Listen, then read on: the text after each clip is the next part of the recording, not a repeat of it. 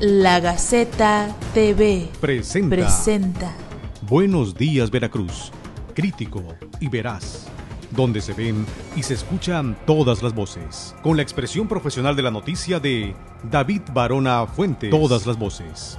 Buenos días Buenos Veracruz. días, Veracruz.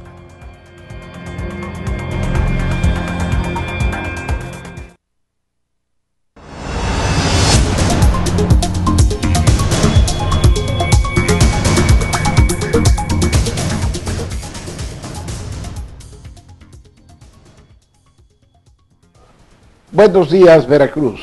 Estimados y finos amigos, les habla su amigo y servidor David Barona Fuentes. Le informa a usted que estamos transmitiendo en vivo, como es la costumbre nuestra, todos los miércoles de cada semana desde la ciudad de Jalapa, la capital del estado de Veracruz, México, para el mundo entero a través de www.lagaceta.org. Porque esta es la Gaceta TV donde se ven y se escuchan todas las voces. Síganos ustedes, estamos en las redes sociales a través de Twitter, arroba Gaceta Tele, y también estamos en Facebook, la Gaceta TV. Ah, Estamos a la orden de usted, cuando quiera orden y mande. Escríbanos, síganos por favor en esta gran comunidad de la Gaceta TV y nos dará mucho gusto compartir con usted información. Lo invito para que visite nuestro canal de YouTube. Ahí tenemos muchos videos de temas interesantes, importantes. Ahora, si usted quiere escribirme como lo hacen nuestros navegantes a través de mi correo davidbaronaf.com, pues hágalo y con mucho gusto le contestamos como lo hacemos puntualmente con todos ellos.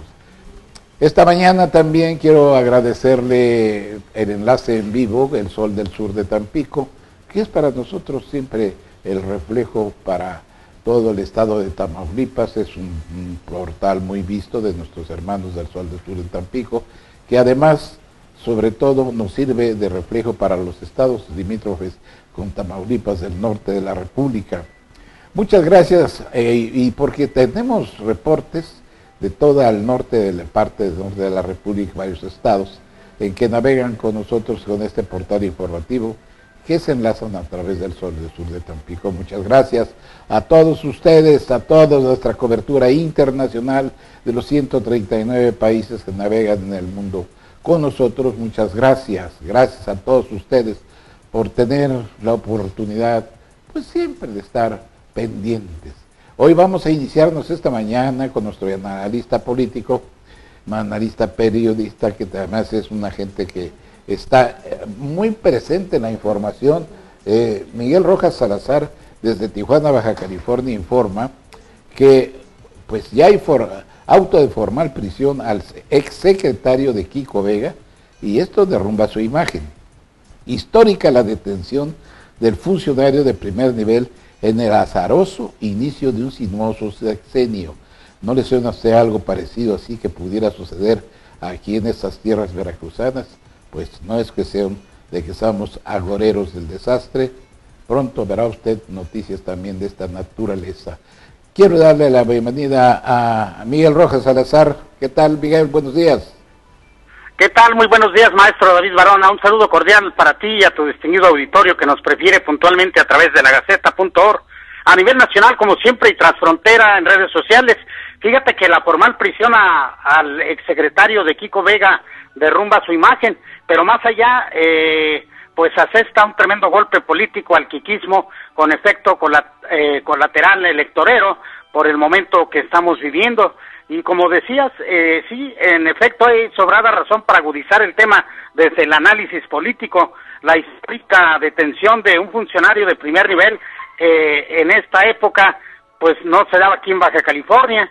Eh, y bueno, además de él, pues yo creo que ya es tiempo de que el gobernador se ponga las pilas, se ponga a trabajar, porque le han dicho a muchos que ya se ponga a trabajar para bien de la sociedad y no para él, eh, para él propio, porque como sabemos todos a través de nuestra eh, cadena informativa hemos estado anunciando eh, todo el acontecer en el entorno del gobernador del estado 29, que en efecto pues es un, un gobernador millonario, pero que eh, su cultura hacia sus gobernados pues eh, está muy pobre en apenas eh, los casi dos años que tiene de su de su eh, sexenio. Y, bueno pues el gober, el gober millonario como lo nombramos ya aquí en lo en lo personal como te reitero es paradoja como administrador del erario de Baja California al que tomó como negocio para enriquecerse mientras empobrecen sus gobernados y le explota Tijuana económicamente, por otro lado San Quintín socialmente y en fin toda la península políticamente. Mientras se derrumba su imagen, el culpable de engañarlo, Jorge Cornejo Manso, cobra su incompetencia como director responsable de relaciones, imagen y comunicación e impidió nuevamente una relación plenipotenciaria que evitara antes la captura sin amparo político, después la orden de aprehensión al defendido exsecretario del patrón Kiko Vega de la Madrid. Ayer, precisamente, eh, en las, al filo de las cuatro cuarenta de la tarde, el juez sexto de distrito Pedro Jara Venegas, con sede en Mexicali, dictó el auto de formal prisión en contra de Guillermo Trejo Dosal, eh, que era el eh, era secretario general de gobierno del estado eh, primigenio en el sexenio de Francisco Vega de la Madrid por lo que el exfuncionario permanecerá en la cárcel mientras se desahoga el proceso penal por su presunta responsabilidad en un delito estipulado en la ley general de instituciones mutualistas considerado como grave que por tanto no otorga el derecho a libertad bajo caución. Eh, bueno, pues Guillermo Trejo es acusado de haber vendido eh, de manera irregular seguros en la empresa Latino Servicios de Salud y o Latino Health Care, algo que en su texto afirmó que nunca sucedió. Eh, y la demanda fue interpuesta por no por ciudadanos, sino por la Procuraduría Fiscal de la Federación, que pertenece precisamente al sistema de administración tributaria y que se persigue de oficio. La detención y ejecución del auto aprecia en el doble fondo judicial político otro duro golpe a la sobresaliente y deteriorada imagen del gobernador Francisco Vega de la Madrid en este mes de marzo, al cual ya le habíamos denotado nosotros el marzo negro, que parece no tener fin y también al parecer se va a extender eh, de por medio las elecciones, las campañas por iniciar y frente a la abolición de juicios políticos contrasta eh, una abolición también que ayer se acaba de dar eh, contra dos eh, priistas, contrario a su a su fiel y segundo bordo, eh, estos dos priistas eran los exalcaldes de Mexicali, eh, Francisco Pérez Tejada Padilla y, de Ensenada Enrique Pelayo Torres, respectivamente. El primero incluso hasta candidato a una diputación federal sonriente y dichado a más no poder se encuentra. Estos siendo priistas pues han sido exonerados eh, por eh, el Congreso del Estado, la 21 legislatura de Mexicali. Y, y bueno, eh, merced a todos estos acontecimientos, sobresalen dos lecturas a priori del tema. Primero, porque el gobernador del estado como ejecutivo del poder, eh, ¿cómo es posible que haya abogado antes por la causa de quien fuera hasta abril del 2014 el segundo al mando en, el actual, en la actual administración estatal, eh, refiriéndonos al detenido eh, Trejo Dosal?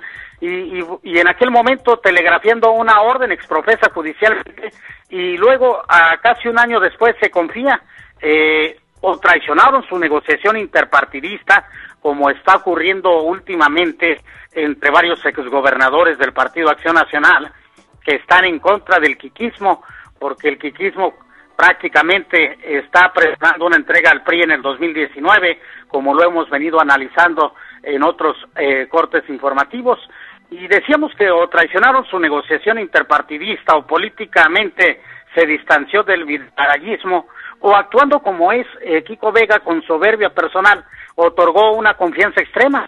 De las tres estimo que se trata de un poderoso golpe político con efecto retardado en prolongar una nefasta campaña en su contra, colateralmente asestado en tiempos electorales.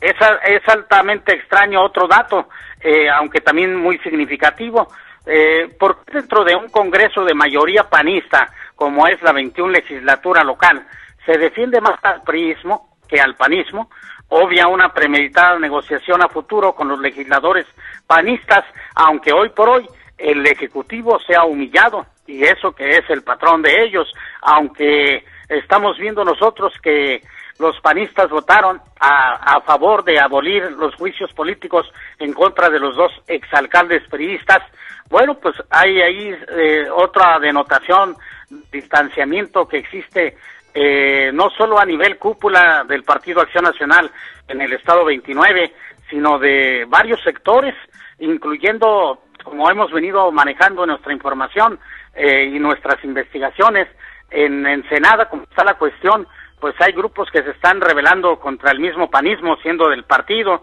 Y bueno, entre la lectura pública hay que recordar el mandatario de Baja California, eh, ha estado bien envuelto en el ojo del huracán por poseer enorme riqueza e inversiones inmobiliarias, el desvío de obra pública en el CRIT, su denuncia pública contra la penal de una casa editora en la que le daremos seguimiento porque van a brotar más chispas, eh, la catarsis social y política de Kiko van más allá de una simple depresión sexenal con el movimiento laboral en San Quintín, eh, en este momento en tregua, y temas de corrupción de su gabinete por salirle tras la veda electoral y rumbo a las campañas electorales, de las cuales, como lo estamos refiriendo, estamos muy al pendiente, y, y a inteligencia conciliadora y racional de cualquier mandatario hubieran dejado en sus asesores el expediente de todos y cada uno de sus gabinetes, subrayando sobre todo el de su segundo de a bordo, que como en este caso, pues se le salió del control y, y es eh, finalmente el que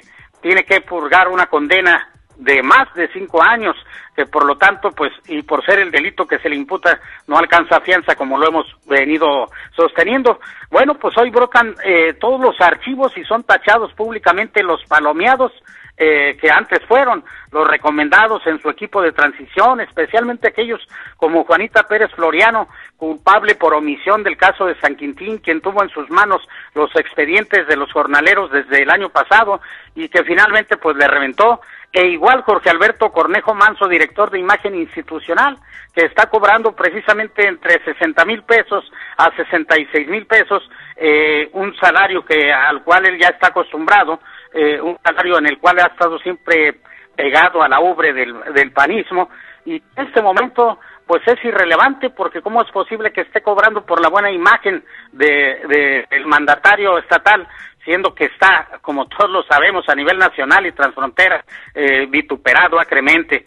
Y, y, de todos, por eso lo analizamos así, de todos ellos, de todos los eh, involucrados, de todos los subordinados, eh, Francisco Vega de la como gobernador constitucional del Estado 29, el culpable directo, el que hoy suma errores a cada capricho, el fracaso es suyo porque él elige y él gobierna.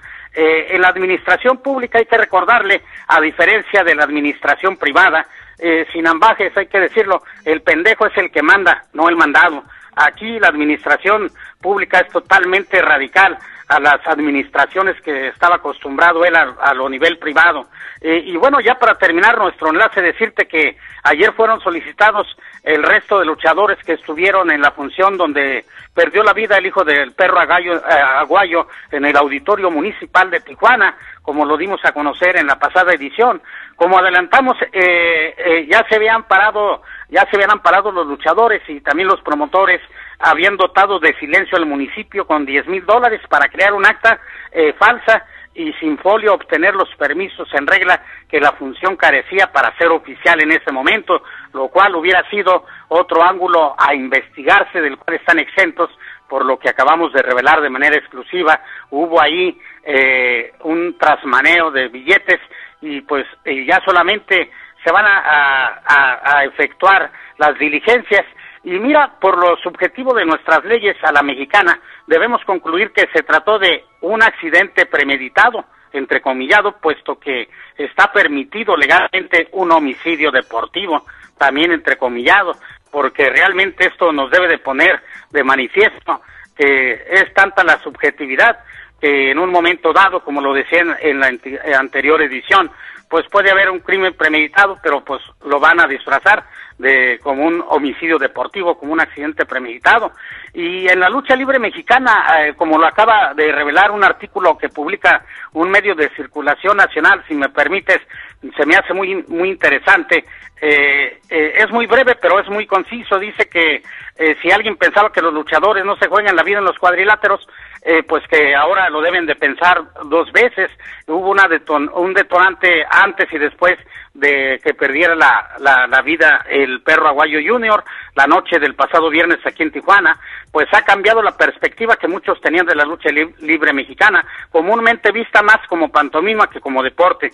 Eh, los vuelos vistosos, las acrobacias, las patadas y caídas tienen en constante peligro a los luchadores que en su mayoría no tienen una recompensa económica que iguale en sentido opuesto ese riesgo o que lleve una equivalencia eh, para solventar eh, lo, lo, lo que es eh, un riesgo altamente en estos en estas lides. Eh, y en efecto eh, como lo decíamos también en nuestro análisis anterior los dueños del show son los que se llevan gran parte de dinero. Aquí la diferencia a establecer es que mientras que el promotor obtuvo como un millón doscientos cincuenta mil pesos aquella noche lo que le sobró para poder acallar la, la, la situación en los periódicos y en sobre todo en el municipio bueno, pues fíjate cómo contrasta con el, el salario por el que perdió la vida el luchador mexicano eh, tapatío, el perro Guayo Junior, que habría, habría cobrado ni más ni menos que la irrisoria cantidad de siete mil pesos. las dos grandes empresas promotoras, como tú atinadamente lo comentabas, en la lucha libre en México, pues son eh, las que están avaladas por el Consejo Mundial de Lucha Libre y la AAA ninguna de las dos aquí estaban este, adscritas con los permisos vigentes eh, para el municipio. Entonces, pues de ahí que se nos hace muy interesante dar a conocer que por siete mil pesos uno puede perder la vida. Si no tienes alguna otra pregunta, alguna duda, estamos eh, en contacto contigo en nuestra próxima edición, eh, regresándote pues los micrófonos y audios a la cabina. Gracias, Miguel. Muy, muy puntual tu información.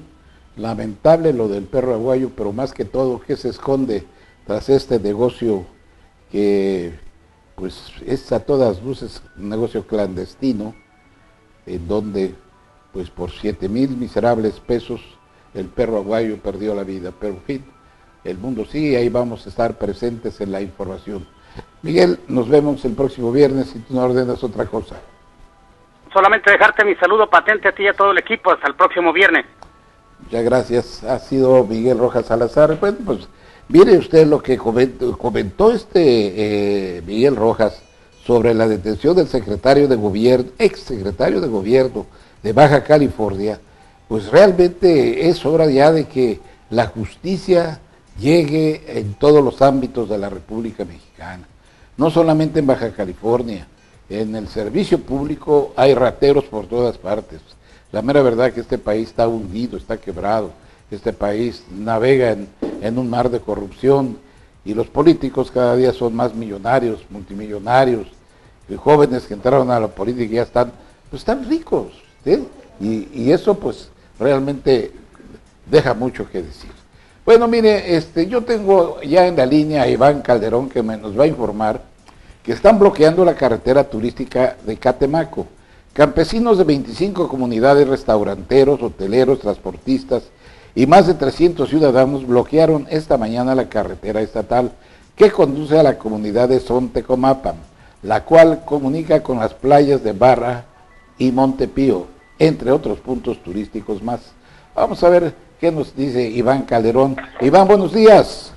Hola, buenos días, maestros. Es un gusto y un placer saludarlos desde acá, de la hermosa región de los Tuxtlan. Fíjese usted que, como ya lo, lo, antecedió, más de 300 eh, pobladores de diferentes comunidades, de más de 25 comunidades de Catemaco precisamente, eh, cerraron prácticamente la circulación vehicular en la carretera de Sontecomapan. Esta carretera conduce directamente a los a las playas de los Tuxtlas, la famosa playa de Montepío, la playa de Toro Prieto, la barra de Sontecomapan, entre otras más, y reclamando un justo reclamo que le están haciendo al gobierno del estado y a la Secretaría de Obras Públicas del recién nombrado flamante secretario Tomás Ruiz, que compongan y rehabiliten por completo esta, este, este cuerpo carretero, ya que desde el año pasado se hizo la promesa, la firme promesa de que se iba a rehabilitar antes de la llegada del periodo vacacional, pero fíjese que nada más de, solamente fueron cinco kilómetros los que han sido completados siendo una carretera de más de 25 kilómetros en un punto exacto. Así que la gente está muy enardecida, están muy enojados con el gobierno del estado, el gobernador, están muy molestos porque es otra agarrada de tonto, como dicen los pobladores acá de la zona de los Tuxtlas. Y eso no es todo. Imagínese que al no, al no recibir respuesta de la Secretaría de Gobierno o de la Subsecretaría de Gobierno, los mismos pobladores se dividieron en grupos y ahora taparon la carretera federal a la altura del puente Canseco, provocando un caos vehicular en esta parte del estado de Veracruz. Todo parece indicar que las que los reclamos serán dados a oídos sordos, ya que hasta el momento ninguna autoridad se ha parado para tratar de dialogar con la gente enardecida. Los Tuxtlas está siendo este día cuna de manifestaciones, ya que también pobladores de, encabezados por líderes de, del partido de Morena eh, se bloquearon la oficina de Cedesol reclamando también que sean entradas sus solicitudes ya que todas están siendo vinculadas directamente hacia el Partido Revolucionario Institucional por parte de Jorge Carballo del CIN y solamente los han agarrado de tontos. Así son las cosas, maestro, y no demora que esto también brinque todavía a nuevos a nuevos lugares, ya que el gobernador del estado precisamente en la pasada visita de la secretaria de Desarrollo Social, Rosario Robles Berlanga, se comprometió a terminar la carretera que conduce al Salto de Yipantla y solamente están terminando un pequeño tramo y él dijo que en el mes de abril estaba concluida por completo, pero no dijo abril, pero de qué año. Sí, este Iván, eh, realmente, mira, lo que yo estoy contemplando ya en este tipo de brote de protestas eh, que surgen ya en Veracruz, pues ya el gobernador ya se ha puesto las pilas y ha ordenado mano dura, y que, pero que sea mano dura, efectiva, en contra de funcionarios del gabinete que no cumplen con su responsabilidad. Muchos de los secretarios de despachos, subsecretarios, directores, subdirectores, jefes de área y los mismos diputados y candidatos a diputados y alcaldes, pues hacen lo que quieren porque eh, no, no, no han sentido el rigor de la ley. La ley tiene que eh, poner, a, eh, aplicarse de inmediato ya. Esto no puede seguir siendo brotando protestas de grupos de campesinos, bloqueando carreteras, protestando en los palacios municipales, protestando aquí en la capital de la ciudad capital de Jalapa, una serie de protestas en que funcionarios que debieron haber cumplido no lo hicieron. Bueno, pues este es el momento para que el gobernador barra ya de plano la casa, la limpie totalmente de tanto corrupto, tanto ladrón sin vergüenza, porque ahí tenemos ejemplos muy claros. Y quería preguntarte, Iván, ¿qué, ha pasado con lo de eh, Rosendo Pelayo y, y el hijo de Marina Garay ahí en San Andrés Tuzla? No, pues los mismos pobladores que se están manifestando hasta el momento están reclamando la nula la nula actividad precisamente hablando de Catemaco de su diputado local Octavio Pérez Garay y de la todavía diputada federal Marina Garay madre e hijo quienes hacen oídos sordos y prácticamente se la han pasado turisteando en, la, en las sedes del Congreso del Estado, en el Congreso de la Unión, ya que prácticamente no han dado ninguna respuesta en sus años de gestión. El, reclamo es directo, directo contra las autoridades municipales, es contra la CIOP, es una gran, es una gran oportunidad, es una prueba de fuego para Tomás Ruiz, para Tomás Ruiz de demostrar que está comprometido con el cargo, porque si no va a ser uno más, uno más de los secretarios de obras públicas quienes llegarán y no harán absolutamente nada. Bueno, pues vamos a ver lo que va a hacer Tomás Ruiz, no, no vemos que tenga los tamaños como para poder tomar el toro por los cuernos. Él es de la élite política, prácticamente viene de la high society política. Él es otro nivel que, que grupos de campesinos ni qué grupos sociales. Este. Pero bueno, ahí está ya en esta secretaría que le responda al gobernador y que verdaderamente responda a los reclamos ciudadanos. La gente reclama, exige, ya basta de tanto engaño y de tanta mentira. Muy bien, mi querido Iván, ¿alguna otra cosa? No, nada, agradecerle el espacio y pues ahí estaríamos con la información ahorita que ya empieza, ahora sí, el verdadero proceso electoral donde se le está complicando cada vez más al revolucionario institucional en todos, en todos los distritos de la zona sur del estado. Bueno, yo te encargo mucho a Andrés Tuzla y a Cayucan, a Cayucan sobre todo porque ahí está un aspirante a candidato a diputado que las debe de todas, todas. Dejó aquí pues una estela vergonzante de corrupción en la Secretaría de Gobierno y bueno, pues vamos a ver ahora qué dicen los electores de allá del distrito de Acayucan. Por eso ahí te encargo mucho que le dé seguimiento a la, a la campaña del señor Eric Lagos Hernández y del señor Jorge Carballo Delfín. Con todo gusto, maestro. Un gran saludo. Bueno, muchas gracias, mi querido Iván. Bueno, pues ha sido el joven, el joven periodista Iván Calderón, quien siempre muy atento a las cuestiones políticas que acontecen ahí en su región, los Tuzlas, pues ya nos ha informado de las protestas de los campesinos que están ahorita pues realmente enardecidos porque no han tenido la respuesta que han planteado. Y bueno, pues me voy a tratar de enlazar con otro um, enlace en vivo, que es una de las gentes más completas en el periodismo del sur de Veracruz, es Mucio Cárdenas, quien nos dice que embargan las cuentas bancarias del Ayuntamiento de Coatzacoalcos por adeudos con petróleos mexicanos, petroquímica, que data del 2007. También nos dice que las becas y algunas obras serán suspendidas en el municipio de Minatitán para saldar una deuda heredada por la exalcaldesa Guadalupe Porras David.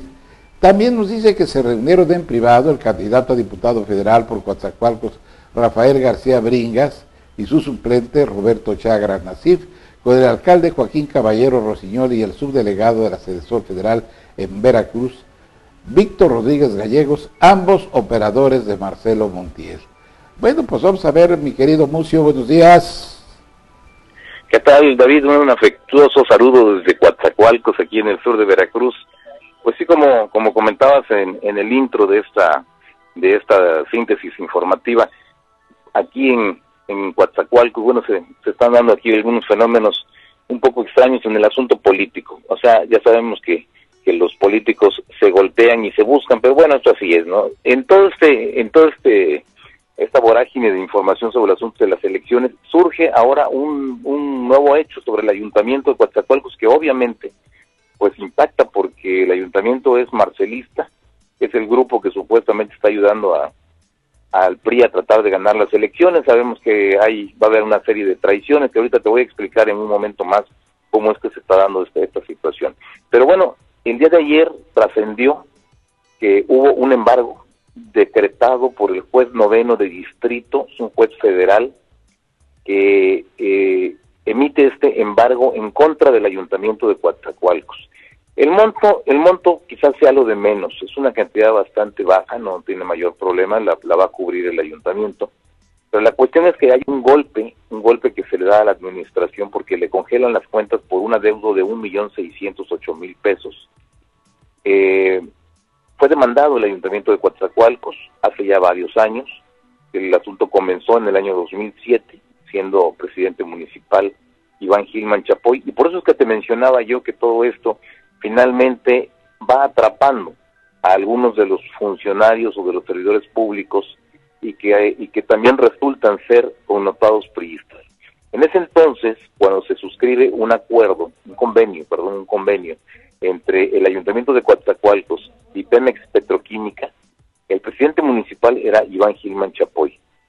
Iván Gilman Chapoy suscribe este convenio para que entre, el, entre, entre Pemex Petroquímica y el ayuntamiento realizaran obras de conservación y de pavimentación de, un bulevar y de varios accesos a las áreas industriales. El caso es que eh, Petróleos Mexicanos cumple con su parte, realiza el trabajo y el ayuntamiento de Coatzacoalcos se niega a entregarle la parte que le correspondía. Era un finiquito. Ya se había, ya había eh, entregado algunas partes del dinero y finalmente en el finiquito se queda atorado el asunto. No hubo manera de moverlo y finalmente Petróleos Mexicanos se da a la, a la, a la búsqueda de la, del resarcimiento del daño por la vía legal y en ese, en este juicio que entabla, es un juicio de tipo civil en contra del ayuntamiento de Coatzacoalcos, bueno, le cae el asunto a quien fue el sustituto de Iván Gilman en la presidencia municipal. Recordemos que Iván Gilman deja la presidencia municipal de Coatzacoalcos y se va a la Secretaría de Turismo del gobierno de Fidel Herrera Beltrán. Eh, eso fue una especie de preparación de Iván Gilman para seguir en el pandero político, para seguir en el escenario, porque eh, posteriormente en el año 2009 iba a buscar la candidatura o buscó la, la se convirtió en candidato iba buscando la diputación federal por Coatzacoalcos y que resultó reventado totalmente porque el grupo marcelista en ese entonces apoyó a Rafael García Bringas, que era candidato del Partido Acción Nacional. Quien sustituyó a Iván Gilman en la presidencia municipal fue Alfonso Morales Bustamante. ¿Quién es Alfonso Morales Bustamante? Bueno, pues es uno de los personajes más allegados a Marcelo Montiel, hoy delegado de la Sede Sol Federal del Estado de Veracruz. Y Alfonso Morales Bustamante, que sustituye a Iván Gilman, porque él era el síndico del ayuntamiento, que finalmente, bueno, eh, aplica como nuevo presidente municipal para concluir. Es una gestión de tres o cuatro meses únicamente. Pero Alfonso Morales Bustamante es hoy el tesorero municipal de Coatzacoalcos en el ayuntamiento de Joaquín Caballero Rosiñón. Es decir, los actores del 2007 son los actores el día de hoy, tanto a nivel local como a nivel estatal, en el caso de, Iván Gilman, que es el delegado de la Comisión Nacional del Agua, gerente regional para la parte Golfo Centro. Es decir, estamos hablando de personajes que estuvieron en su momento y que hoy vuelven a estar. Y curiosamente, este asunto sale, la, la, la, la resolución del juez federal, el juez noveno del distrito de aquí de Coatzacoalcos, es emitida el pasado día 20 y este día 23 se cumplían los tres días en los cuales eh, debieron haberse investigado porque le un oficio a la Comisión Nacional Bancaria para que determinara, detectara y determinara las cuentas del Ayuntamiento de Coatzacoalcos y que se proceda al embargo de las mismas. Como te digo, no es una cantidad por la cual uno se pudiera alarmar, pero sí es un hecho que atrapa a funcionarios que estuvieron en su momento y que hoy vuelven a estar en el escenario en el escenario público. Y bueno, pues el ayuntamiento en vez de haber resuelto esto y hubieran llamado a petróleos mexicanos y decir aquí está el dinero y se paga, estaban esperando la resolución del juez y resulta que la resolución del juez fue adversa al ayuntamiento de Joaquín Caballero Rosiños. Bueno, ese es un caso, ese es un caso y ahorita volveremos a hablar de los actores políticos porque resulta que los marcelistas vuelven a estar otra vez metidos en este asunto de la de la elección. Bueno, te quería yo comentar que en el caso de Minatitlán hay un hecho, hay un hecho añejo, es un hecho que viene desde la administración de Guadalupe Porras David como presidenta municipal. permíteme tantito, Sí, eh, este, este hecho de Guadalupe Porras David, eh, ella determina el cierre de un negocio, de una chatarrera, porque así, así estimó la señora que, que debía de hacerse, todo lo hacía con, con intención, o mejor dicho, con mala intención. Siempre lo, siempre actuó de esa manera, eh, fue muy ventajosa cuando fue presidenta municipal, atropelló a muchísima gente, le cayeron muchas denuncias encima. Eh, el asunto que hoy, que hoy eh, tiene encima el ayuntamiento de Minatitlán es que por esa decisión de cerrar aquella chatarrera, es una empresa que se llama Metales y, y Chatarrera Hadrich, SADCB. Está allí en una colonia de, de Minatitlán y resulta que la cierra de manera arbitraria, el propietario de esta empresa presenta una, una demanda eh, civil por daños y perjuicios o que incluía daños y perjuicios. Eso ocurre en el año 2009 y el año pasado se emite ya una resolución favorable a este propietario de la chatarrera Hadrich y el juez concede que se le paguen 24.8 millones de pesos, casi 25 millones de pesos. Y como el gobierno municipal se estaba haciendo rosca, el gobierno de, Minatitlán, cuando el presidente municipal era José Luis Sáenz Soto, que hoy es candidato a diputado federal por Minatitlán, bueno, pues el juez determinó aplicarles una multa de 300 salarios mínimos a cada integrante del cabildo por el incumplimiento de su resolución. Obviamente, bueno, pues ya, ahora sí ya, esta se acaba de confirmar, la, multa se las aplican en el mes de noviembre, eh, la determina el juez, y bueno, pues ya ahorita ya, ya, ahora sí ya los citaron a todos los, los ediles y van a ponerse con su lana porque tienen que cumplir con este, este problema legal que se les vino, que les vino derivando por una cuestión que había hecho Guadalupe Porras.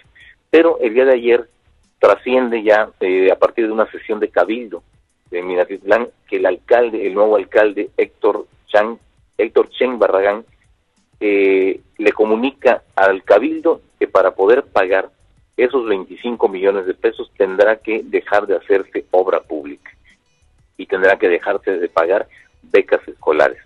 Y entre esas obras están, por ejemplo, dos parques recreativos que tendrían un costo de 2 millones de pesos. No se van a poder adquirir seis camiones para el servicio de limpia pública, cuyo costo sería de 8 millones 600 mil pesos, casi 9 millones de pesos. Aparte, otras dos camionetas con canastilla para el servicio del alumbrado público que ya son urgentes que se adquieran en el municipio de Minatitlán. Cuatro camionetas para el área de obras públicas y obviamente se van a tener que dejar de entregar becas para más de mil alumnos de, con nivel de excelencia y algunos por problemas de, recursos para poder estudiar. Bueno, es un apoyo, bien, que mal, aunque sea una cantidad pequeña, pero es un apoyo para los niños o para los jóvenes y desgraciadamente pues ya no se va a poder hacer nada de esto. Van a dejar de rehabilitarse eh, caminos y avenidas de las que están muy deteriorados dentro de, del municipio de Minatitlán. Es decir, ¿cómo impactó ese, esa decisión de Guadalupe Porras y que al paso de tantos, de tantos años se pierde un juicio y hay que pagarle 25 millones de pesos a la persona afectada y que con toda razón, bueno, lo demostró en los tribunales que fue una decisión arbitraria. Pero, ojo, aquí está yo creo que la parte que va a levantar mucho, mucho polvo todavía, es que el alcalde Héctor Chen Barragán, que es petrolero, que es gente de, de Jorge Guade, líder de la sección 10 de Minatitlán, el hombre fuerte de los petroleros en Minatitlán, dice que ya instruyó al apoderado legal del ayuntamiento para que presenten las denuncias y cualquier acción legal en contra de las personas que estuvieron involucradas en este daño patrimonial. O sea, quienes tomaron la decisión y quienes llevaron o fueron omisos a la hora de enfrentar este juicio. Es decir, les van a fincar una responsabilidad. Y obviamente, pues la decisión fue de Guadalupe Porras David. Ese, ese es el problema que le viene ya a quien fue la operadora política de Fidel Herrera Beltrán en el sur de Veracruz, no solo en Minatitlán, sino en, el, sino en todo el sur de Veracruz, porque el poder que acumulaba Guadalupe Porras David era un poder de veras fuera de serie. Ella le surtía de todo tipo de ayuda, despensas, bicicletas, anteojos y todo lo que le servía al PRI para ganar las elecciones, pero todos los alcaldes, todos los dirigentes políticos, todos tenían que acudir con ella porque ella era la representante de Fidel Herrera Beltrán en ese tipo de operación de trabajo sucio que se hace para ir cooptando el voto y que, y que posteriormente a la hora de la elección le sirve al PRI para sostenerse en el poder. Pero aquí ya veremos una decisión. Guadalupe Porras David estaba con la intención de volver a meterse, en, de insertarse en el asunto político, porque eh, la situación que está enfrentando el actual candidato a la, a la Diputación Federal por Minatitlán, José Luis Sáenz Soto, es de una debilidad como candidato y por otra parte porque hay algunos asuntos de tipo legal que dejó pendientes y que posiblemente lo pudieran nulificar, invalidar o inhabilitar para poder ser candidato finalmente o llegar a la elección. Es un asunto que, que, que merece mucha, mucha atención porque va a haber un impacto de tipo judicial en el asunto político. Los actores que en un momento participaron hoy vuelven a estar presentes. Lo mismo que el caso de Coatzacoalcos. Y ahí te va el caso de Coatzacoalcos. Hubo una reunión hace unos días, eh, el fin de semana, antes del fin de semana se reúnen en, en privado, muy en corto, el candidato a la, a la Diputación Federal, el propietario y el suplente, Rafael García Bringas y Roberto Chagra Nasif, es decir, dos gentes del grupo fidelista, ellos son los candidatos a, diputado por Coatzacoalcos, por el PRI. Se reúnen con el alcalde de Coatzacoalcos, Joaquín Caballero Rosiñol, y con el subdelegado de la Sol Federal en el estado de Veracruz, Víctor Rodríguez Gallegos, que es gente de Marcelo Montiel, el brazo derecho de Marcelo Montiel, a quien García Bringas le ganó la, la candidatura a la Diputación Federal. Hay una especie de operación cicatriz, los mandan a eso, trasciende la fotografía, la posan, posaron la foto, el mensaje era de que aquí estamos puestos los marcelistas con García Bringas. Pero recordemos que lo mismo le hizo Marcelo Montiel a Iván Gilman en el año 2009, lo llevó a una reunión, en esa reunión tomó el micrófono Iván Gilman y habló maravillas de su gran enemigo, al que le decía fantasma verde, y que él no, él no hablaba ni dialogaba con fantasmas, o sea, diciendo, como diciendo, está muerto Marcelo Montiel, y tuvo que decir que Marcelo Montiel había sido el mejor alcalde de los últimos años en Coatzacoalcos, incluyendo pues el tiempo en el que mismo Iván Gilman fue alcalde de Coatzacoalcos, obviamente pues quedó, se relegó a un segundo, tercero, cuarto lugar para darle paso a quien en ese momento él elogiaba porque ilusamente creyó que tirándose al piso y sirviendo de trapeador a Marcelo Montiel y a su grupo lo iban a ayudar en la elección federal. Y el resultado fue una derrota estrepitosa a la hora de la, de la elección. Eh, es, es una segunda parte, es un segundo capítulo de cómo se lo hicieron a Iván y que se prevé que así se lo estarían haciendo a Rafael García Bringas. A menos que hubiera por ahí una negociación de muy alto nivel, y que finalmente Marcelo Montiel, que todo lo negocia, absolutamente todo, eh, concedieran que se le apoye a García Bringas a, a condición de que le pudieran dejar la presidencia municipal para alguno de sus gentes o para él mismo, depende de cómo se presente la situación. Ya nada más para rematar, David, te comento que el día de ayer, pues robaron otra vez en la en la casa en la casa de, gestoría, en, en, la oficina de gestoría de la diputada Mónica Robles Barajas, esposa de Iván Gilman, y como te digo, los personajes son los mismos, nada más que reciclados y en diferentes escenarios, pero son exactamente lo mismo. Pues a la esposa de Iván Gilman, a la diputada Mónica Robles, le roban nuevamente en su casa de gestoría de aquí de Coatzacoalcos. Ya es el segundo robo, ya había ocurrido algo similar en el año 2013, o sea, después de que de que ella toma posesión como como diputada local, este, le roban no son grandes cantidades, se llevaron únicamente algunas cuestiones de, de enseres de ahí, de algunas sillas, de algunos, alguna documentación. O sea, lo extraño es que después de que le roban la primera vez, pues extraña también que, que la diputada no haya puesto vigilancia en, en su oficina, sobre todo que tienen una partida para eso. Hay una partida del Congreso del Estado que se le da a cada uno de los legisladores para que tengan una, una oficina donde hagan su trabajo, ahí pueden tener su personal, cubrir todos los servicios y todos los gastos administrativos, hay, hay recursos para eso, pero no tiene vigilancia, no había, no había absolutamente vigilancia allí en esa casa de gestoría que se encuentra a cuadra y, y media del, Palacio Municipal, donde sí hay una partida de policías para resguardar la, la sede municipal. Y lo más curioso es que ella le reclama, en una declaración le reclama al mando único de policía y dice que bueno que es, que es lamentable que no esté funcionando el mando único y que y ella insta a que bueno que se pongan las pilas para que para que bueno no se vuelvan a dar ese tipo de, situaciones delictivas en, que en, el, cual ella resultó afectada.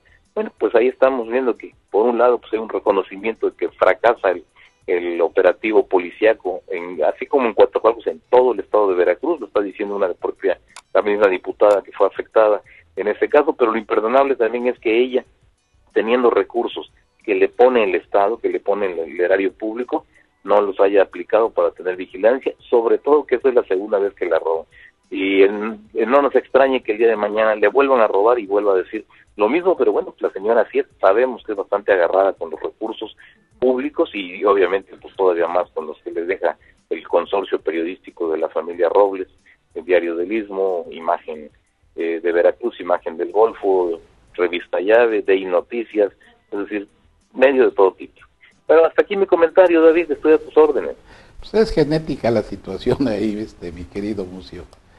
Eh, de tal palo, tal astilla, ya nosotros conocemos el origen de todo esto sin embargo, quiero decirte que es muy grave lo que le pasa a la diputada este, Robles, porque, bueno, pues si están los amigos del ajeno vigilando a quien tiene ciertas cosas en sus oficinas en sus eh, casas, habitaciones, pues esto nos pone a pensar qué suerte podría correr pues en un ciudadano simple que se sale a trabajar con toda su familia y regresa y encuentra la casa vacía. Bueno, pues esto es ya una noticia que se ha venido dando en todos los lugares y rincones de Veracruz. Sin embargo, el coronel Arturo Bermúdez, que es el, el jefe de las fuerzas de seguridad pública aquí en el estado, este, pues no, no, no, aquí no da la cara, no se le ha visto a Arturo.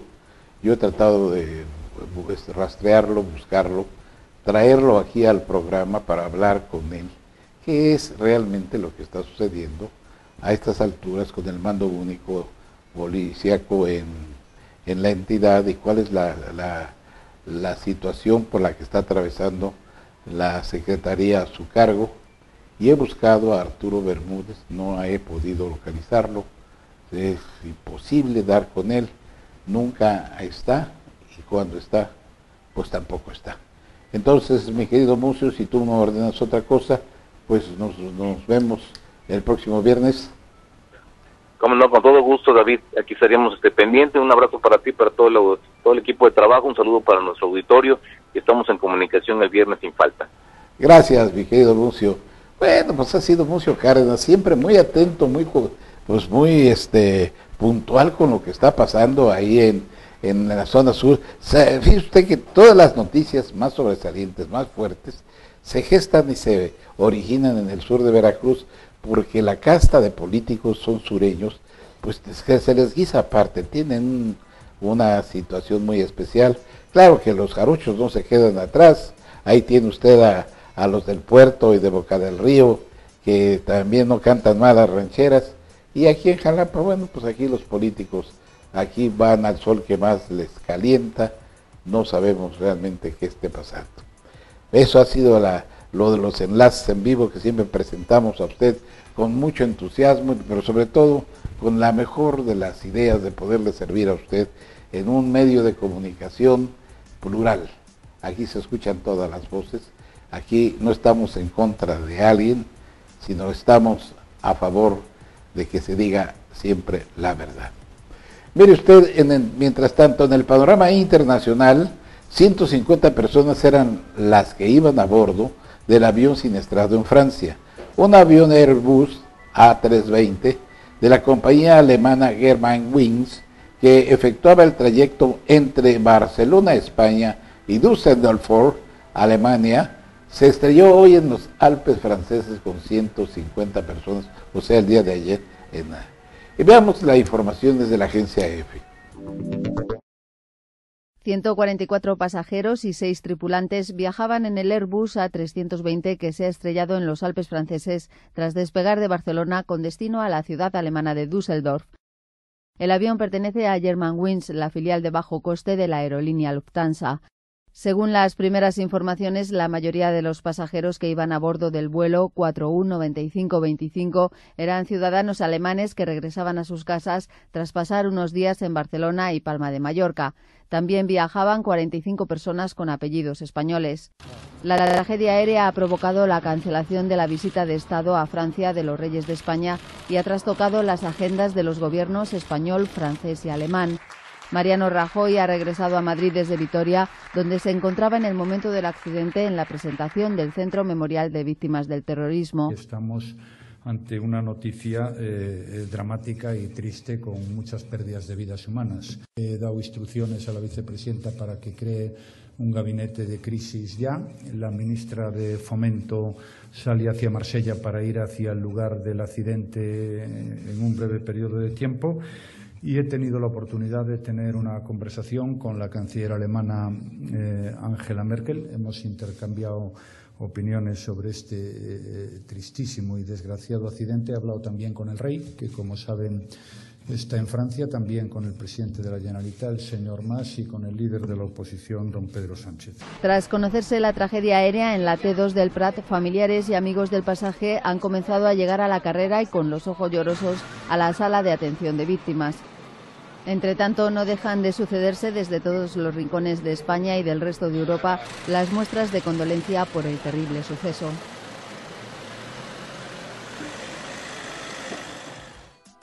Pues esta, en esta terrible tragedia que pues ya ve usted ha recorrido todo el mundo, en este mismo tenor, le comento que un equipo de fútbol, fíjese usted, se salvó de este fatídico accidente porque cambiaron sus planes de último minuto.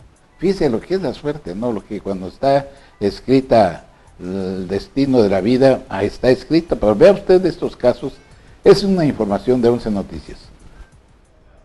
Un cambio de planes le salvó la vida y no abordaron el vuelo de la empresa Germanwings accidentado este martes. De última hora, los jugadores de un equipo sueco de fútbol cambiaron sus boletos y tomaron otros vuelos. El portero del equipo publicó en Twitter, a todos los que han intentado contactarse con nosotros en las últimas horas, estamos bien y en casa. El brasileño Rafael Revelo estaba a punto de comprar el boleto para viajar en la línea Germanwings, sin embargo, cambió su itinerario. Estava tudo confirmado para hoje.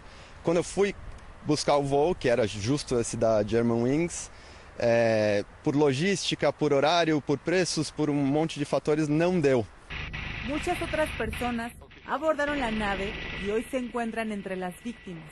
Oleg Brihak y María Radné, cantantes de ópera, perdieron la vida en este accidente. Habían representado la obra Siegfried en el Gran Teatro del Liceo. Entre las víctimas también está Ariadna Falguera, esposa del jefe del gabinete del presidente de la Esquerra Republicana de Cataluña.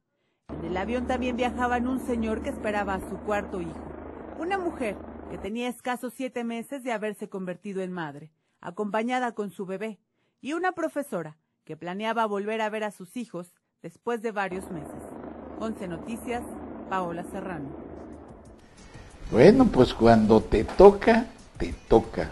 Y realmente, realmente qué suerte para esta gente que no, no, no se, no se subió al avión, este, que se accidentó y que causa una honda tragedia entre alemanes y pues gentes que iban ahí, este, 150, por cierto iban tres mexicanas, mexicanas, dos mexicanas y un mexicano, iban a bordo de, este, de, este, de esta aeronave.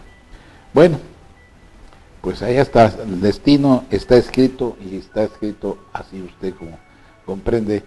Vaya, ese es que cuando te toca, te toca, como se dice.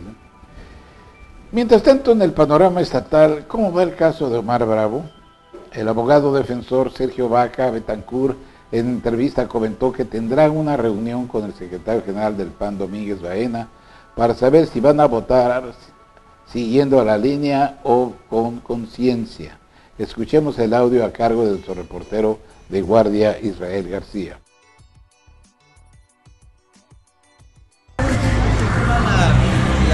Con su defendido y, qué esperamos. Bueno, yo vengo a platicar con Domingo Baena y los demás diputados locales de Acción Nacional, pues para pedirle su opinión de cómo ven la futura votación, que todavía no me confirman si es el jueves. Nos habían dicho que iba a ser el jueves, este jueves, pero aparentemente hoy hay una sesión de la permanente donde van a acordar para cuándo es la sesión especial donde se va a tratar exclusivamente el asunto del desafuero de Omar Cruz Reyes. Le estaba yo comentando aquí al compañero, ya presentamos hace como 20 días el amparo contra el auto de formal prisión que dictaron a favor de Martín, contra Martín López Meneses. La audiencia en el juzgado tercero de distrito es el día 30.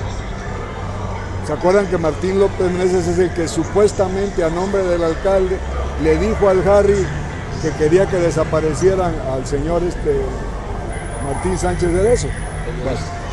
si ganamos ese amparo, porque es un señalamiento indirecto de un solo testigo que no tiene ningún respaldo, se cae la solicitud de desafuero, porque no puede ser que el chofer que dicen que intervino sea inocente y que el alcalde que no intervino sea culpable. Pero además, comencé a hacer el jueves de la semana pasada el amparo de los otros dos policías, de José Francisco y de Luigi, los que eran, los que eran motociclistas. ¿Saben cuál es su única culpa? Que estaban comprando unos hot dogs cuando pasó la caravana de tres vehículos y de ellos tres en una camioneta traverse llevaban al señor a, Moisés Sánchez Cerezo. Bueno, pues según el fiscal, quería que los dos policías que estaban comprando hot dogs adivinaran porque todavía no se radiaba la solicitud de auxilio, que habían sustraído de su domicilio a este señor, a la víctima, que adivinaron como si fueran Superman, que con vista de rayos X vieran que iban en una camioneta y que los corretearan. Entonces eso es imposible. O sea, si no ser adivino y no ser Superman es delito, se van a quedar en la cárcel. Pero si no, voy a ganar los amparos contra la autoformal prisión. Licenciado, ¿no es un riesgo grave o delicadísimo el hecho de que por el dicho del dicho del dicho cualquier persona venga y diga que me mandaron a matar a una persona y por eso me encarcelen? Pues podrían haber sido que fuimos tú o yo los autores intelectuales. Ahora, hay disposición expresa en el Código Penal de que la ayuda que tienes que prestar para ser copartícipe, para que te consideren autor, es que sea útil. Díganme en qué fue útil que estuvieran comiendo unos hot dogs los dos policías para el homicidio. Dice el juez quinto de primera instancia que le dieron línea, que hubo un acuerdo previo con los policías. El único supuesto acuerdo fue del tal Harry, que nadie sabe cómo se llama, ni dónde vive, ni cómo es, con el chofer del alcalde de, Medellín, para que si desaparecían a Moisés Sánchez esto después le permitieran vender droga. Pero no hubo un acuerdo previo de que si lo matan, díganos en qué día, a qué hora y cómo lo van a hacer y vamos a desaparecer la policía. Eso es un mero invento de la Procuraduría. Por último, de mi parte, nada más último. ¿Qué procede si decide el, jueves mismo el Congreso desaforar y, bueno, proceder ya contra su defendido? Bueno, pues lo, lo seguiremos teniendo escondido y vamos a promover un amparo. Y ahí tenemos varias opciones. Si el 30 de marzo ganamos el amparo contra de Martín López Méndez contra el auto formal prisión, se cae el señalamiento, porque si él no es responsable, menos el alcalde. Si perdemos ese amparo, nos vamos a la, revisión. Y contra la orden de desafuero, tenemos expedito el derecho para promover un amparo indirecto, que es ante el Poder Judicial Federal, que a cada rato le dan de coscorrones al gobierno del Estado y al gobierno federal. ¿Llamado a los legisladores? Bueno, pues yo quisiera, me gustaría saber si en esta ocasión, que pocas veces se presenta a los legisladores, la oportunidad de impedir una atrocidad y una injusticia, van a votar siguiendo la línea o van a votar como se debe votar, como he votado yo hasta veces que he sido diputado, en conciencia de lo que te ordena la mente y lo que sientes en el corazón.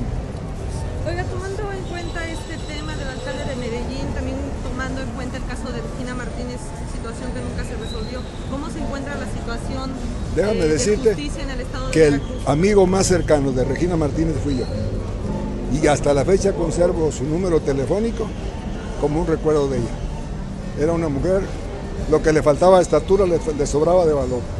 ¿Y cómo califica el sistema de justicia en el estado de Veracruz tomando en cuenta que... No hay, es sistema de injusticia, esa es la verdad. Déjame decirte una cosa que no se ha dado a conocer con la amplitud requerida. Por culpa de Fidel Herrera, desapareció la cárcel del distrito judicial más importante del estado, que es mi tierra, el puerto de Veracruz, por culpa de Fidel Herrera, en violación flagrante de la ley de ejecución de sentencias, que obliga a que en la cabecera de cada distrito haya una cárcel, en Veracruz Puerto no hay cárcel, por culpa de Fidel Herrera y de este gobierno que no, no se ha dignado en construir un nuevo reclusorio en la ciudad de Veracruz, Clemente Noé, el homicida, está en cosa. Bueno, es parte de la entrevista con Sergio Vaca hay que recordar que Sergio Vaca ya fue diputado, fue diputado por el Partido de Acción Nacional, fue diputado local. Es un reconocido jurista. Yo recuerdo a Sergio Vaca cuando era estudiante de la Facultad de Derecho. Vivía en la calle de Nicolás Bravo en una casa de pensiones. Ahí lo conocí personalmente, sé de su capacidad. entiendo que agarra casos espinosos, difíciles, y ya con su tendencia política como militante del Partido de Acción Nacional, pues ahí usted tendrá que sacar sus conclusiones. Sobre el mismo caso, el fiscal Luis Ángel Bravo comentó en entrevista, estoy atento de todos si estos casos se deriven en el Ministerio Público Veracruzano. Respeto los dichos de todas las personas, en especial del abogado Sergio Vaca. Escuchemos qué más comentó en el audio a cargo de nuestro reportero Israel García. Reyes aseguraba que el 30 sale una resolución del distrito 30 eh, de un amparo que se ve promovido a favor del chofer del alcalde con licencia. Si este amparo sale a favor de, este chofer, bueno, se vendría bajo el juicio de procedencia en contra del, al- del alcalde Panista. ¿Cuál es su opinión al respecto de lo que dice bueno? Yo, yo siempre respeto eh, los dichos de todas las personas que opinen en torno a un caso. Máxime merece todos mis respetos el, el abogado Vaca.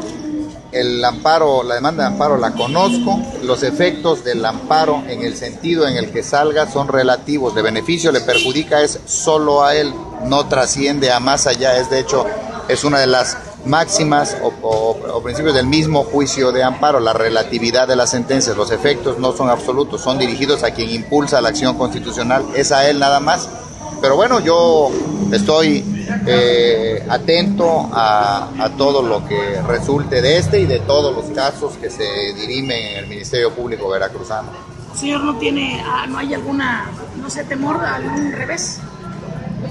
¿De qué revés? Ya hay un auto de formal prisión en contra de eh, quien es materialmente un coautor material del asesinato. Estamos esperando los momentos también ya para pedir conclusiones, para pronunciar conclusiones, que es el segundo momento en el que el Ministerio Público debe de fijar su acusación. Estamos esperando que lleguen los tiempos y lo haremos en torno a los eh, demás eh, individuos o personas que están inodadas eh, de manera probable a estas alturas, pues estamos también ahí en espera de lo que resulte de los instrumentos de defensa que ha planteado su abogado, pero estamos tranquilos, hicimos eh, y seguimos haciendo lo que se debe hacer desde el Ministerio Público y, no tenemos absolutamente eh, ningún problema. La investigación sigue su curso en torno a los demás autores, tenemos grandes avances también y no culminaremos hasta no poner tras las rejas a todos y cada uno de los que participaron en este evento. Por tratarse de pruebas circunstanciales en contra del alcalde, ¿esto hay, hay aparte de eso alguna prueba física? Porque nada más es el señalamiento de, de una tercera persona, en este caso el, el homicida, que dice que pues se lo pidió el chofer de, del alcalde. En este caso es una prueba circunstancial, pero aparte de eso, ¿tiene alguna prueba más contundente? La Recuerda que en el caso del, del alcalde, eh, la, la probable autoría que a él le deviene es eh, la participación intelectual. En todos los casos, el autor intelectual se mantiene en la penumbra. Nunca regularmente hay pruebas materiales. Él manda a hacer las cosas. Todas las eh, eh, cuestiones a las que se llega, dígase conclusiones, eh, precisamente se sustentan en el engarzamiento de todos los indicios. Anteriormente, en el derecho, en tiempos remotos, la prueba reina de las, de, las, de las pruebas era la confesión, ahora no, la confesión no es más que un elemento más que compone la verdad. Bueno, pues ahí escuchó usted ya la- los dos criterios, tanto el de la Defensoría de el alcalde Omar, Omar Cruz, que equivocadamente el reportero de guardia le puso el apellido de Bravo, es Omar Cruz, el, el exalcalde de Medellín, y lo del señor fiscal, pues Miguel Ángel Bravo, ya usted escuchó cuál es la postura, la posición del Ministerio Público que él representa. En otra información, bueno, pues esta es una noticia para todos los niños y niñas, jóvenes que van a la escuela. Este lunes 30 de marzo inicia de manera oficial el periodo de vacaciones de Semana Santa para 2.348.000 alumnos veracruzanos de todos los niveles, quienes volverán a las aulas hasta el lunes 13 de abril para dar continuidad a los 200 días de clases marcados en el calendario del siglo escolar 2014-2015 de la Secretaría de Educación Pública. Bueno, pues así está. Y mire, esta es una noticia que realmente pues causó revuelo en el mundo informativo. El gobernador Duarte tuvo una caída durante un evento en la Escuela Secundaria General 1 de Córdoba, Veracruz. El gobernador Javier Duarte cayó al término de la ceremonia cuando se dirigía a la salida del colegio público. Veamos las imágenes, son de El Mundo.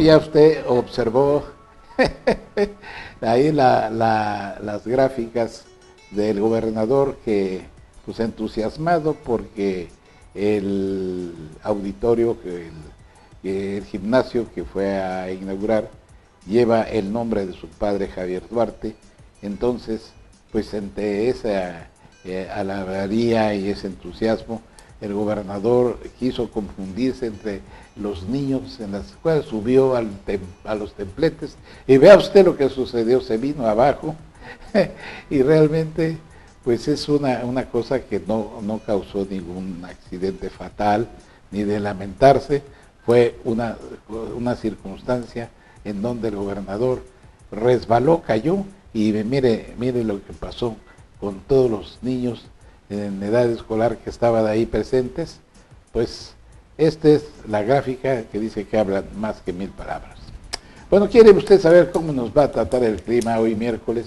Amanecimos con una temperatura de 23.6 grados Celsius, humedad de 91%, la temperatura en la Ciudad de México es de 13 grados Celsius, en Veracruz el cielo nublado, medio nublado, los vientos del norte entre 6 a 10 kilómetros por hora, posibilidad de lloviznas durante esta mañana, neblina en la zona de costa, pero veamos el panorama del tiempo a cargo de la Comisión Nacional del Agua.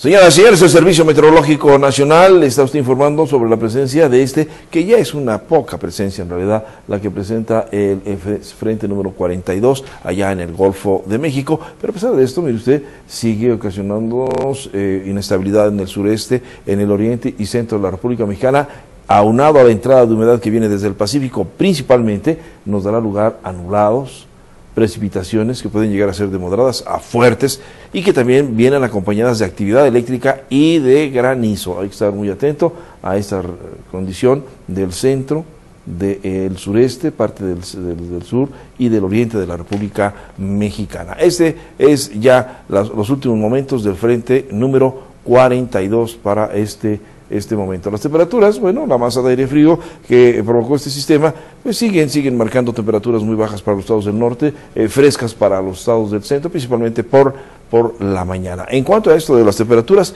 le quiero yo decir, mire usted, 35 grados para Hermosillo, 33 en La Paz, 26 en Tijuana, tenemos 28 en Chihuahua, 26 en Juárez, en Mazatlán 27, 26 en Durango, pero sí las temperaturas conforme nos vamos adentrando a la mesa del norte serán realmente bajos los valores para esta, esta región que en algunos casos llegan entre los 4 y los 6 grados bajo cero. Para el noreste, mire usted, temperaturas, pues sí, agradables, a pesar de que hay una masa de aire frío sobre esa región bueno, por los termómetros no marcan valores bajos, simple y sencillamente porque se ha ido eh, retirando este sistema en cuanto a su desplazamiento al Golfo de México. El cielo un poco nuboso, pero por la tarde. Cielo de despejado a medio nublado. Esperaremos sí algunas precipitaciones en Zacatecas, otras en San Luis Potosí, allá en, en Nuevo León, en Tamaulipas, pero son realmente muy, pero muy dispersas. Con tendencia a irse secando el ambiente hacia el centro. Y usted en Guanajuato, no se diga, esperaremos si alguna precipitación pegadito en Querétaro y pegadito en Hidalgo, también algunas precipitaciones muy aisladas. El occidente, muy soleado, temperaturas eh, elevadas que van de los 27 hasta los 31, 32 grados la temperatura máxima, hacia el centro, un poco de humedad hacia la tarde, con precipitaciones, la temperatura de cálida a, a calurosa. En cuanto al estado de Guerrero, mire, 31, 33, 34 la temperatura máxima, un cielo un cielo la mayor parte del día muy limpio, muy soleado. Por la tarde sí, se incrementa la nubosidad muy rápido y sí esperaremos eh, tierra adentro, pues algunas precipitaciones acompañadas de actividad eléctrica. Para el sureste, el sureste mexicano seguimos con temperaturas muy agradables, mire usted, superiores a los 34 grados incluso, y eh, precipitaciones que van de moderadas a fuertes. En la península de Yucatán, al igual, Caluroso el ambiente, el cielo de despejado a medio nublado, algunas precipitaciones también muy aisladas en Campeche, Yucatán Quintana Roo, pero las temperaturas siguen siendo eh, muy, muy agradables que incluso pueden marcar un ambiente caluroso para Campeche, Yucatán y el estado de Quintana Roo. En la Ciudad de México esperaremos estos tres próximos días, que es miércoles, jueves y viernes, un cielo al igual, muy soleado, con nubosidad la mayor parte del día, misma que se incrementa por la tarde, con la presencia de algunas precipitaciones aisladas. La temperatura, mire usted, de 24 puede bajar el viernes a 23 y la mínima Fíjense, la mínima de 11 a 12 grados Celsius aquí en la Ciudad de México. Yo soy Jaime Lorrán Asensio desde el Servicio Meteorológico Nacional y esto, esto es lo más importante. La Gaceta TV. Todas Bueno, pues estas han sido las noticias más eh, relevantes de las últimas horas. No se vaya usted, yo le tengo el comentario final de este noticiario. Le invito a que no se vaya, yo regreso en un minuto con usted.